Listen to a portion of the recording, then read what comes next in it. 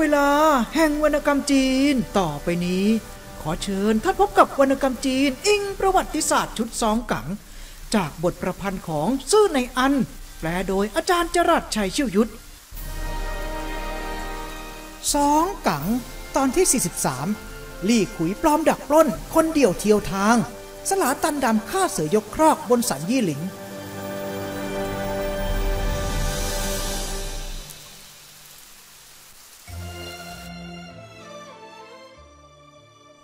ส่งเจียงปลอบขึ้นว่า เอาหน้า สงบอกสงบใจเอาไว้น้องพี่ เราจะให้เจ้าไปก็ได้ แต่ต้องทำตามสามเงื่อนไข ลี่ขุยถามว่า อะไรหรือขอรับ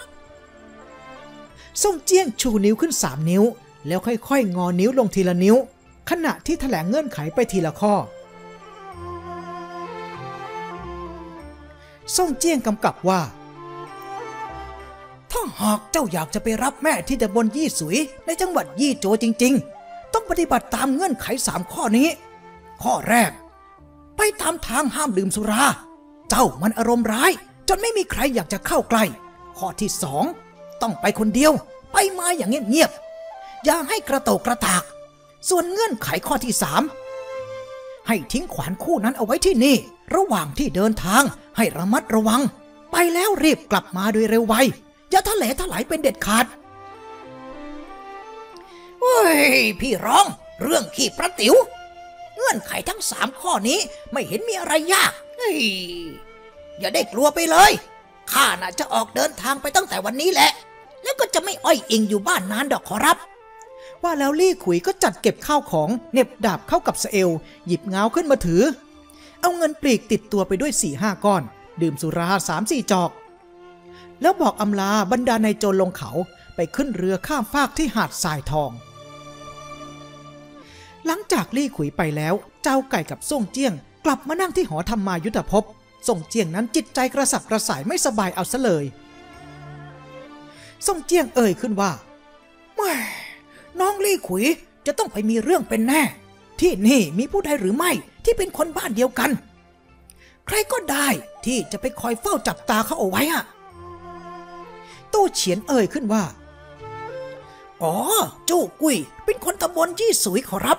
พวกเขาเป็นคนบ้านเดียวกัน ส่งเจียงพูดว่า เออ จริงสินะ ข้าลืมไปซะสนิทเลย ตอนเจอกันครั้งแรกที่อารามวัดมังกรขาว ลี่ขุยก็ทักเองว่า เป็นคนบ้านเดียวกันส่งเจียงจึงส่งคนลงไปตามจู้กุ้ยขึ้นมาจากโรงเตี๊ยม สมุนโจรคนหนึ่ง รีบตะบึงลงไป หลังจากจู้กุ้ยมาถึงส่งเจียงก็ปรารบขึ้นว่า น้องลี่ขุยกลับบ้านไปรับตัวมารดามาดูแล แต่เป็นเพราะว่า พอเล่าเข้าปาก อารมณ์มันจะร้ายนัก พวกเราจึงไม่ให้ใครตามไป แต่ด้วยกลัวว่าจะไปเกิดมีเรื่องขึ้นตามทางข้าทราบว่าท่านเป็นคนบ้านเดียวกัน จึงอยากหวานให้ท่าน ตามไปคอยจับตาเอาไว้ห่างๆจู้กุ้ยจึงว่า ใช่แล้วขอรับ ข้ามาจากตำบลยี่สุย จู้ฟูน้องข้า ก็ยังคงเปิดโรงเตี้ยมอยู่ที่ประตูตะวันตก ลี่ขุยเป็นคนบ้านตรงเตี้ยนตะวันออก ขึ้นสังกัดหมู่บ้านไปจางเขามีพี่ชายเป็นคนรับจ้าง ชื่อ ลี่ต้า ลี่ขุยคนนี้เป็นคนมุทะลุดุดัน ที่ต้องหนีมาก็เพราะไปฆ่าคน ตั้งแต่นั้นมา ก็ระหกระเหินไปเรื่อยๆ กลับเข้าบ้านไม่ได้ ข้าเองก็ยังไม่ได้กลับบ้านเลยสักหน ให้คิดถึงน้องชายตัวเองซะเต็มประดา อยากเจอกันอีกสักหนลำพังคนจะไปก็ง่ายนัก สักแต่ว่าไม่มีผู้ใดดูแลร้านให้เท่านั้น ส่งเจียงจึงว่า เฮ้ย ไอเรื่องโรงเตรียมนั้นไม่มีปัญหาใด ๆ ดอก หากท่านไป ข้าก็จะให้โหเจี้ยนกับซื่อหยง ไปกำกับเอาไว้พลางๆก่อน จ้ากุ้ยอำลาบรรดานายโจรกลับลงเขาไปจัดเก็บข้าวของ ส่งมอบโรงเตี๊ยมให้โหเจี้ยนกับซื่อหยงช่วยดูแล แล้วก็ออกเดินทางไปยังยี่โจส่งเจี้ยงดื่มกินกับเจ้าไก่บนเขาอยู่ทุกเมื่อเชื่อวันไม่ได้ขาด เอาตำราสวรรค์มานั่งศึกษากับหูหยงดาวขมังเวท เรื่องนั้นเราจะไม่เล่าอีกนะครับ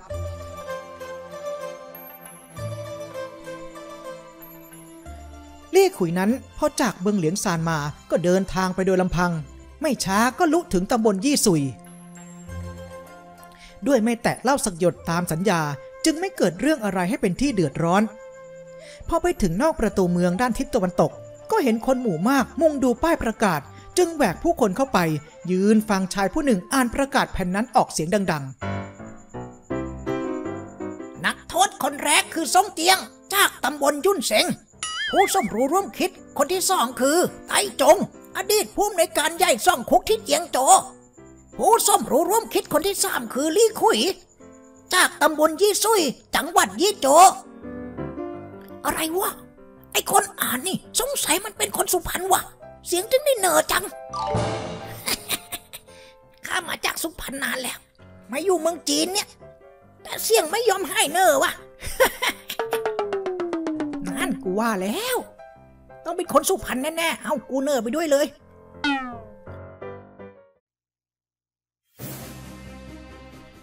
อารมณ์ลี่ขุยละอุขึ้นภายใน สติสตางที่เคยบรรยักบรรยังเอาไว้ก็พังลงสิ้น แต่แล้วชายอีกคนหนึ่งก็ปรีเข้ามาทางด้านหลัง เอาแขนรวบตัวไว้เป็นเชิงปรามชายคนนั้นร้องขึ้น พี่จ้างมาทำอะไรที่นี่ล่ะฮะ เฮ้ย สลาตันดำหันไปดูที่แท้ก็เป็นจู้กุ้ยจระเข้บกผู้นั้นนั่นเอง ลี่ขุยย้อนก็ให้ว่า แล้วท่านล่ะ มาทำอะไร ฮะ ตามมาตามมา แล้วข้าจะบอก ทั้งสองตรงไปยังโรงเตรียมนอกประตูตะวันตก แล้วนั่งลงในห้องหลังบ้านเงียบๆ จู้กุ้ยเอานิ้วชี้ไปที่สลาตันดำพรางเอ่ยขึ้นว่า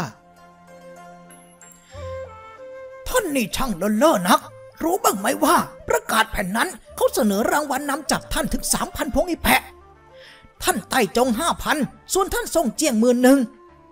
แล้วตัวเองยังมีหน้าไปยืนอ่านอยู่กับเขาอีกปาดท่อ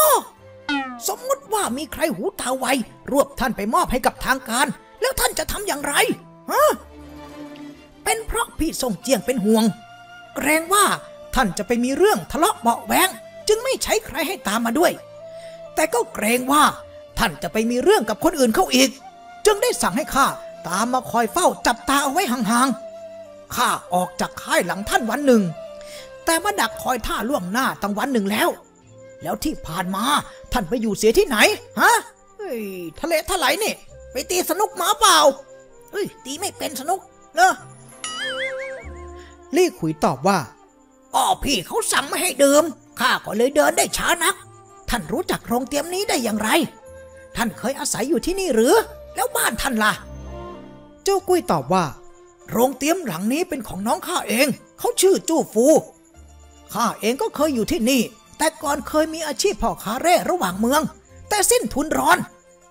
เลยไปเป็นโจรอยู่เหลียงซานเปาะ นี่เป็นครั้งแรกนาที่ข้าได้กลับมาบ้าน จู้กุ้ยแนะนำลี่ขุยให้น้องชายได้รู้จัก เจ้าของโรงเตรียมก็ เอาสุราออกมาบริการลี่ขุยพูดว่า พี่ทรงเจียงกำกับกำชา ไม่ให้เราดื่มสุรามาตามทาง แต่นี่เราก็มาถึงบ้านแล้วนี่ว่า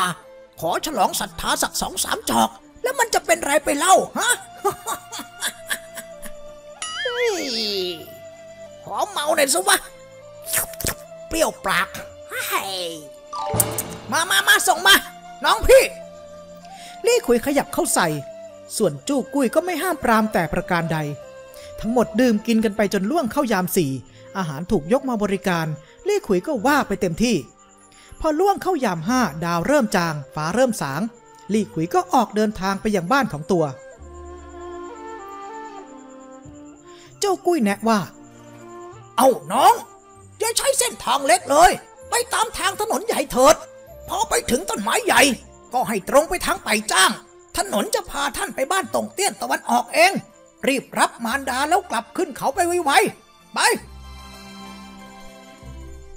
ลี่ขุยย้อนขึ้นว่าเฮ้ย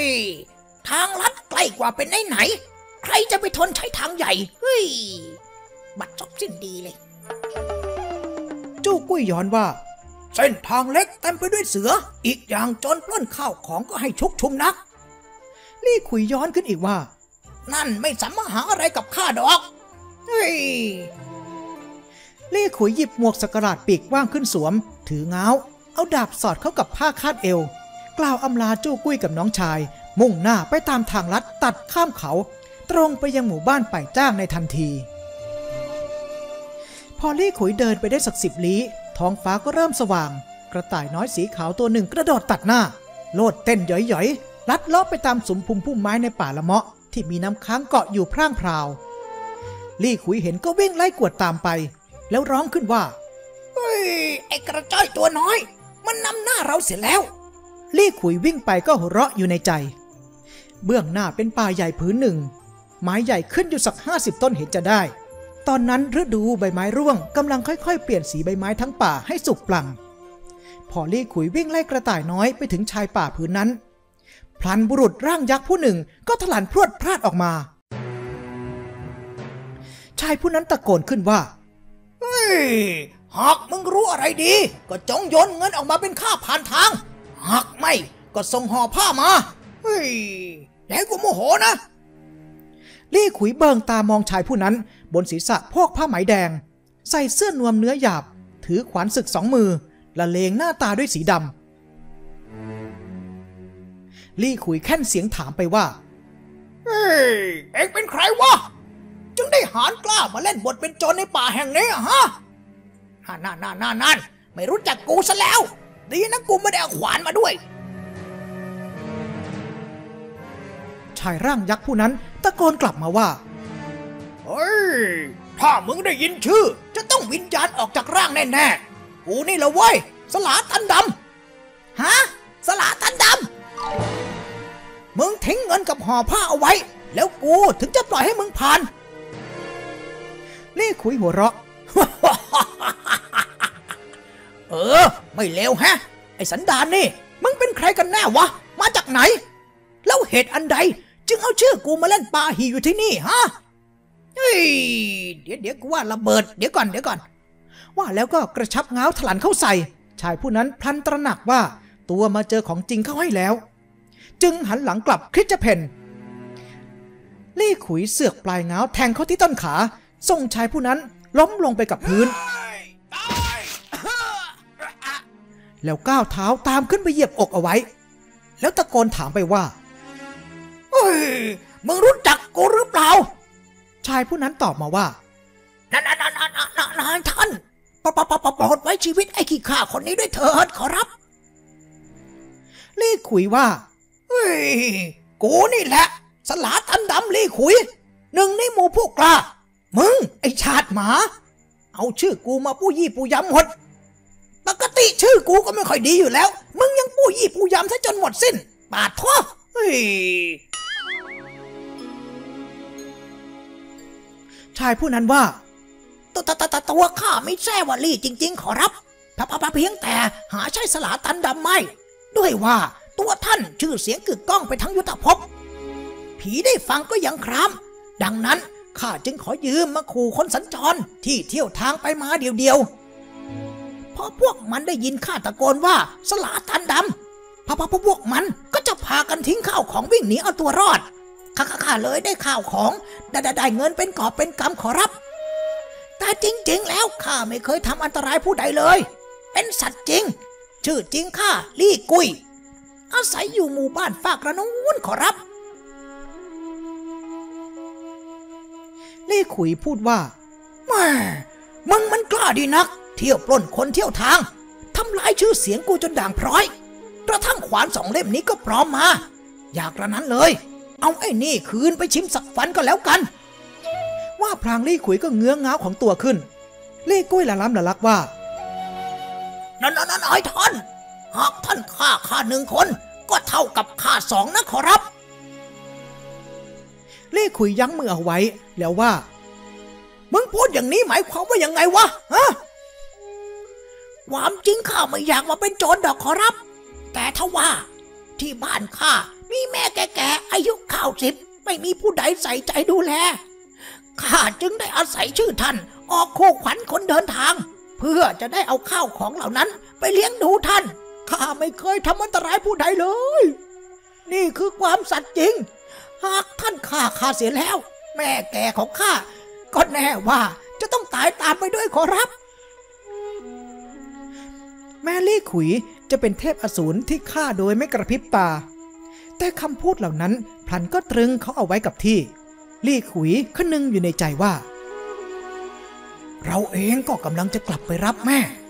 ถ้าเราฆ่าไอ้คนที่เลี้ยงดูแม่ตัวเองไป ฟ้าดินก็คงไม่ให้อภัยเป็นแม่นมัน แล้วจึงพูดออกไปดัง ๆว่า ถ้าเช่นนั้นก็ได้ ไอ้ชาติชั่ว กูจะปล่อยมึงไปก่อนแล้วกัน ลี่ขุยเข้าไปฉุดชายคนนั้นให้ลุกขึ้น ลี่กุยทั้งทั้งที่กำขวานคู่เอาไว้ ก็ให้เหลือระย่อ ได้แต่ซุดตัวลงบนเข่าแล้วโขกศีรษะอยู่ปลกปลกลี่ขุยกำชับต่อไปว่า จงจำใส่กะลาหัวเอาไว้ว่า กูคนเดียวเท่านั้น ที่มีชื่อว่าสลาตันดำ ต่อไปมึงอย่าได้เอาชื่อกูไปหากินอีก เข้าใจไหม ขอขอรับขอรับ ไม่เอาอีกแล้วขอรับ วันนี้ท่านโปรดไว้ชีวิต ข้าจะกลับไปบ้าน แล้วเปลี่ยนงานเสียใหม่ ข้าจะไม่เอาชื่อท่านมาประกอบกิจปล้นเขากินเช่นนี้อีกแล้วขอรับ เออ เอ็งมันลูกกตันอยู่ กูจะให้เงินสิบตำลึง เอาไปเริ่มอาชีพใหม่ ลี่ขุยเอาเงินแท่งหนักสิบตำลึงยื่นให้ ลี่กุ้ยคำนับแล้วจากไป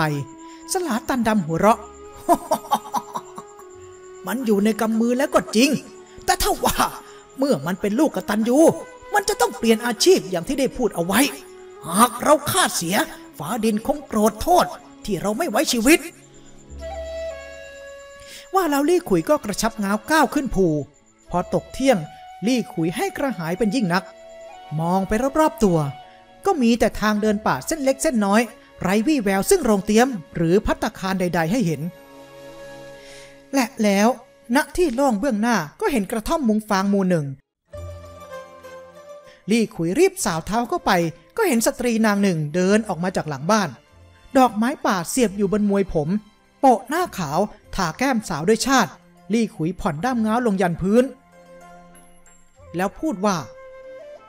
อาซอตัวข้าเป็นคนผ่านทางหิวโหยนัก ข้างหน้าไม่มีโรงเตรียมแม้สักหลังเดียว หากข้าจ่ายเงิน แม่นางจะให้ข้าวให้สุรากับข้าบ้างได้หรือไม่ หญิงสาวเห็นรูปร่างหน้าตาท่าทางดุร้ายน่ากลัว ก็ไม่กล้าปฏิเสธ นางตอบว่า เราไม่มีสุราดอกเจ้าค่ะ แต่จะหุงข้าวให้ก็แล้วกัน เชิญด้านในก่อน เล่ขุยจึงว่าอ๋ออย่างนั้นก็ได้ แต่อย่าได้ชักช้าล่ะ ข้าหิวหนักเลย เอาสักทนานหนึ่งน่าจะพอนะเจ้าค่ะ เล่ขุยว่า ขอข้าเป็นสามเท่าจะดีกว่า หญิงสาวคนนั้นติดไฟขึ้นในครัว ตวงข้าวสามทนานลงไปซาวในรำธารแล้วกลับขึ้นมาหุง ลี่ขุยเร่ออกไปปลดทุกข์หลังเนินใกล้ ๆ ก็เห็นชายผู้หนึ่งลับๆล่อๆเลี่ยมเขาใกล้เข้ามา ลี่ขุยย่องกลับมาซุ่มอยู่หลังบ้าน หญิงคนนั้นกำลังจะออกไปเก็บผักที่เนิน พอเปิดประตูออกไปก็เจอชายคนดังกล่าว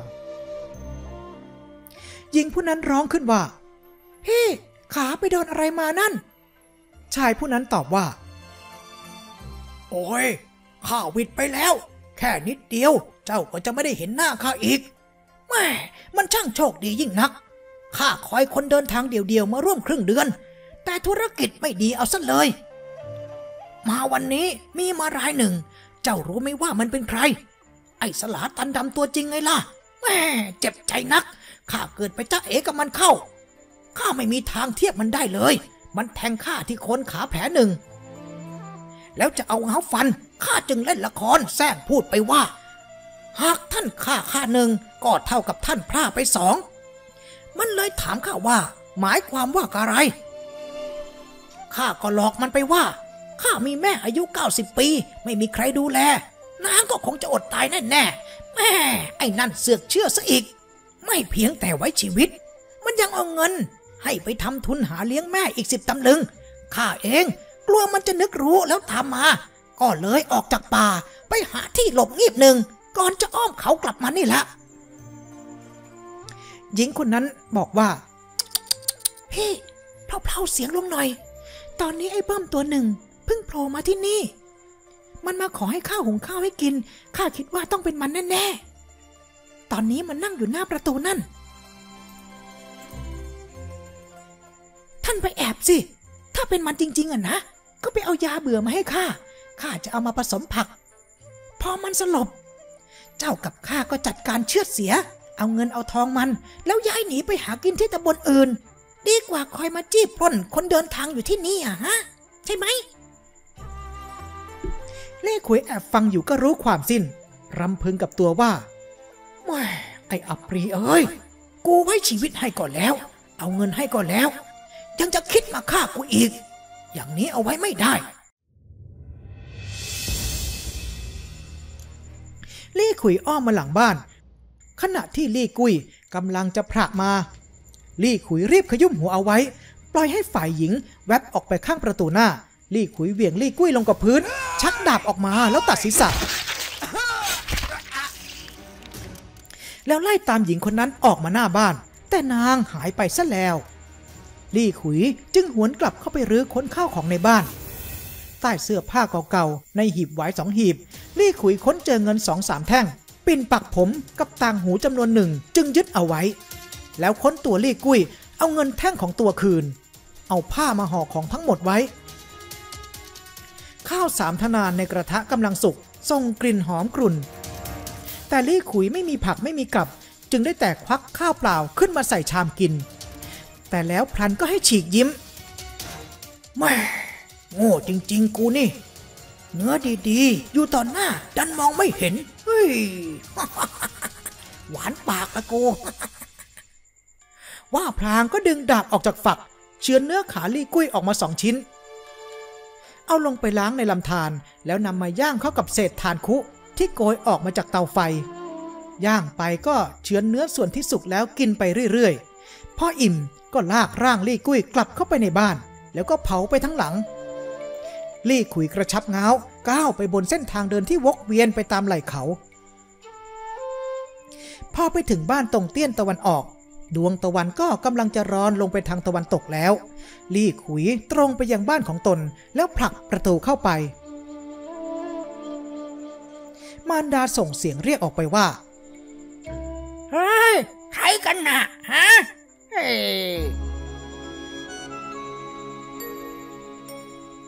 ยลี่ขุยเพิ่งรู้ว่าแม่ตาบอดไปแล้ว นางนั่งอยู่บนเตียงทำปากพึมพำท่องมนต์บนหาแต่พระแต่เจ้า แม่ ไอ้วัวตัวนี้ไง ข้ากลับมาบ้านแล้ว โอ้ลูกแม่ เจ้าจากบ้านไปซะนาน ไปอยู่ที่ที่ไหนมาล่ะเนี่ย พี่เจ้าไปทำงานรับจ้าง ได้มาก็แทบจะไม่พอกิน จริงๆแล้วพี่เจ้าก็เกือบจะดูแลแม่ไม่ไหวอยู่แล้ว แม่คิดถึงเจ้านัก ร้องไห้จนน้ำตาไม่มีจะไหล ก็เลยตาบอดอย่างที่เห็นนั่นแหละ แล้วตัวเจ้าไปทำอะไรมาล่ะฮะลี่ขุยเอ้ยลี่ขุยร่ำพึงกับตัว หากบอกแม่ไปว่า เราเป็นโจรเหลียงซานเปาะ แม่ก็คงไม่ยอมไปกับเรา เรากุเรื่องใหม่ดีกว่า ลี่ขุยจึงพูดออกไปดัง ๆ ว่า แม่รู้ไหมว่า ไอ้วัวของแม่ตัวนี้ได้เป็นขุนนางกับเขาแล้ว ตอนนี้ข้าจะมารับเอาแม่ไปอยู่ด้วย ถ้าเช่นนั้นก็ดีนะสิลูกแม่ แล้วเจ้าเอาอะไรมาทับแม่ล่ะฮะลี่ขุยตอบว่าจากนี้ข้าจะแบกแม่ไปตามทางเอง แล้วค่อยไปหาเกวียนเอาข้างหน้าขอรับ ผู้เป็นแม่ว่า รอให้พี่เขากลับมาก่อน แล้วตกลงเรื่องนี้กันให้ดี ลี่ขุยว่าทำไมไม่ล่ะขอรับ เราก็แค่ไปกันก็พอแล้ว ทั้งสองกำลังจะไป ก็พอดีหลี่ต้ากลับเข้าบ้าน ถือข้าวมาด้วยกระออมหนึ่ง ลี่ขุยรีบคุกเข่าโคกศีรษะ แล้วว่า ท่านพี่หลายปีนักแล้ว ลี่ต้าตะโกนตัดบทว่า เฮ้ย ไอ้ชั่ว มึงกลับมาทำไมวะ กลับมาลากเอาพวกเราเข้าปิ้งไปด้วยหรือยังไงวะฮะ เฮ้ย ผู้เป็นแม่จึงว่า เออลิต้าเอ้ย เจ้าวัว มันได้เป็นขุนนางแล้วนะ มันจะมารับแม่ไปดูด้วย แม่ อย่าไปหลงเชื่อมัน ตอนมันฆ่าคนก็มีแต่ฆ่าเท่านั้น ที่ถูกเขาเอาโซ่มาล่าม ต้องทนถูกเขาทรมาน เมื่อเร็วๆนี้ ก็เพิ่งมีข่าวว่า มันร่วมกับโจรเขาเหลียงซานก่อเหตุจลาจลขึ้นที่เจียงโจหักเข้าไปชิงตัวนักโทษจากลานประหาร ตอนนี้มันเป็นพวกโจรเต็มตัวแล้ว เมื่อไม่กี่วันมานี้ ทางเจียงโจก็แจ้งมาทางตำบลเรา ให้คอยสอดส่องจับตัวมันให้ได้ ตอนแรกพวกนั้นคิดจะจับข้าเอาไปเป็นตัวประกัน แต่นายข้าออกรับหน้าแทนซะก่อน บอกพวกนั้นไปว่า ลี่ขุย มันหนีออกจากบ้านไปตั้งสิบปีแล้ว ไม่เคยกลับ ไม่มีผู้ใดรู้ว่ามันไปไหน อาจจะเป็นใครก็ได้ เที่ยวสมอ้างว่าเป็นคนที่นี่ แล้วก็เอาสินบนให้หน่อยหนึ่ง ไม่เช่นนั้นกว่าจะได้ตัวมัน ก็คงมีหวังถูกเขาจับไปโบยตี ตอนนี้ก็มีใบบอกให้สินบนนำจับมันถึงสามพันพวงอีแปะแน่ว่าพลางก็หันมาใส่ลี่ขุยผู้น้อง เฮ้ย แทนที่จะกลับบ้านมาโป้ปดมดเท็จ ทำไมมึงไม่ตายไปเสียให้รู้แล้วรู้รอดไปเลยวะเนี่ยฮะเฮ้ยมาทำไมวะลี่ขุยจึงว่า โอ้ยท่านพี่อย่าเอะอะโวยวายอะไรไปเลย พวกเราพากันขึ้นเขาไปมีความสุขด้วยกัน ย่อมดีกว่าจะมาทนลำบากอยู่ที่นี่ลีต้าโมโหโกรธา ใครจะตะบันหน้าน้องเป็นยิ่งนัก แต่ก็ไม่กล้า ด้วยเห็นว่าตัวไม่ใช่คู่มือเขา จึงได้แค่เวียงกระออมข้าวลงพื้น แล้วกระทืบเท้าจากไป ลี่ขุยคิดในใจว่า พี่เขาคงออกไปตามคนมาจับเราเป็นแน่ อยากระนั้นเลย เราเรีบหนีออกไปก่อน ท่านพี่ในชีวิตนี้ไม่เคยเห็นเงินแท่งกับเขา เราทิ้งเงินไว้บนเตียงสักห้าสิบตำลึงดีกว่า พอเขากลับมาเห็นเข้า จะได้ไม่ไล่ตามเราไป พรางลี่ขุยก็ล้วงลงไปเอาเงินแท่งใหญ่ หนัก 50ตำลึงขึ้นมาจากท้ายข้างไซเอล วางไว้บนเตียง แล้วเอ่ยขึ้นว่า ท่านแม่ข้าจะแบกแม่ขึ้นหลัง แล้วขออย่าได้พูดอะไรเลยนะขอรับ ผู้เป็นแม่ถามว่า แล้วเราจะไปไหนกันหรือลูกเอ้ยลี่ขุยตอบว่า เอาหน้าแม่ อย่าได้ถามเลยขอรับ ลูกรับรองว่า พวกเราจะไปในที่ที่มีแต่ความสุข ให้แม่ขี่หลังไปอย่างนี้ช่างเบานัก ว่าแล้วลี่ขุยก็กระเตงแม่ขึ้นหลัง ก้มลงหยิบเงาก้าวออกจากบ้านด้นดันไปบนทางเปลี่ยว ฝ่ายลีต้าเร่งไปแจ้งข่าวยังบ้านเจ้าที่ดิน แล้วรีบรุดกลับมาพร้อมด้วยบ่าวไพร่ไม่ต่ำกว่าสิบคน แต่เมื่อมาถึงแม่ก็จากไปซะแล้ว เหลือแต่เงินแท่งใหญ่ทิ้งไว้บนเตียงลีต้าครุ่นคิดในใจว่า แม่มันทิ้งเงินก้อนนี้ไว้ให้เรา แต่ว่ามันจะพาแม่ไปไหนนะ มันต้องมีคนจากเขาเหลียงซานอื่นๆ ตามมาด้วยเป็นแน่ หากเราไล่ตามไปทัน พวกนั้นมันคงฆ่าเราทิ้ง มันคงกลับมารับแม่ขึ้นไปใช้ชีวิตเป็นสุขอยู่บนเขาเป็นแม่นมัน เมื่อไม่เห็นวี่แววลี่ขุย พวกที่ตามมาด้วยก็ไม่รู้จะทำอะไรดี ไอ้วัวมันพาแม่ข้าไปแล้ว แต่ใครจะไปรู้ว่ามันใช้เส้นทางไหน เลี่ขุยพูดขึ้น เส้นทางก็มีอยู่มากมายเหลือเกิน เราคงค้นไม่เจอแน่แน่ลีต้าเต็มไปด้วยความว้าวุ่นใจ ประดาบ่าวไพร่จากบ้านเจ้าที่ดิน ก็รีรีรอๆกันอยู่พักหนึ่ง เมื่อไม่เห็นมีอะไรก็พากันกลับบ้าน เรื่องนั้นเราจะไม่เล่าอีกนะครับ ฝ่ายลี่ขุยแบกแม่อยู่บนหลัง ใช้ทางเดินป่ามุ่งหน้าสู่ภูผา พอไปถึงตีนภูเวลาก็ล่วงเลยไปจนมืดแล้ว ส่วนมารดาด้วยว่าตาบอดจึงไม่รู้กลางวันกลางคืน ฝ่ายเล่ขุยทราบดีว่า เขาลูกนี้มีชื่อว่า เย่หลิง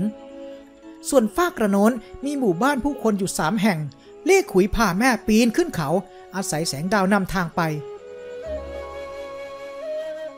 เสียงมารดาเรียกขึ้นว่า ลูกแม่ เจ้าบอกใครให้ไปหาน้ำมาให้แม่ดื่มทีสิเล่ขุยว่า รอให้ข้าข้ามสันเขาลูกนี้ไปก่อนนะแม่นะ แวะพักบ้านใครก่อน แล้วข้าจะไปหาน้ำมาให้เอ้ยตอนเที่ยงนะ่ะ แม่ได้กินแต่ข้าวแห้ง ตอนนี้แม่กระหายน้ำนักเล่ขุยว่า ข้าเองก็คอแห้งไปหมดแล้วขอรับ รอให้ข้าพาแม่ขึ้นไปถึงสันเขา แล้วข้าจะออกไปหาน้ำมาให้ ผู้เป็นแม่อ้อนวอนว่าโอ้ยช่วยแม่ด้วย แม่อยากน้ำใจจะขาดอยู่แล้วข้าเองก็ใกล้จะหมดแรงอยู่มารอมารอแล้วเหมือนกันขอรับท่านแม่ลี่ขุยปีนขึ้นไปถึงสันภูจนได้ แล้วพาหญิงชราไปนั่งบนหินใหญ่ก้อนหนึ่ง ใต้ต้นสน กดคมเงาปักไว้กับพื้นใกล้ๆ แล้วพูดกับแม่ว่า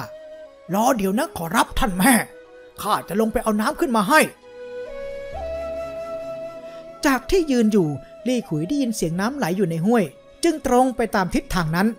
หลังจากลงเนินเขาไปได้สักสองสามลูก ลี่ขุยก็พบห้วยเล็ก ๆ เขาก้มลงดื่มน้ำไปหลายอึก